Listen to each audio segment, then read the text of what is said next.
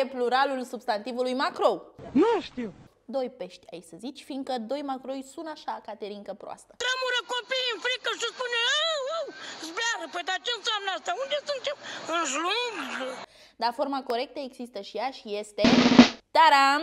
Două macrouri, pentru că macrou este substantiv neutru. Dar mai am aici pe limba română niște substantive jucăușe care sunt defective de plural sau gen sau număr. De exemplu, lebădă, care nu are formă masculină și nici girafa, veverița, cioara sau meduza nu au, deși o melodie mai veche ar zice altfel. Un meduz și o meduză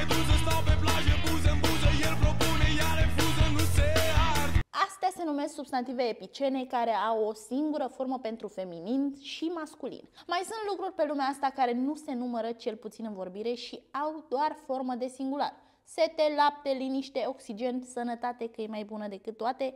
Nu poți să aplauzi la singular pentru că sunt cuvinte care au formă doar de plural, cum ar fi moaștele, blugii și zorii. Și mai știu eu un substantiv care nu ar trebui să aibă niciodată formă de singular. Bani.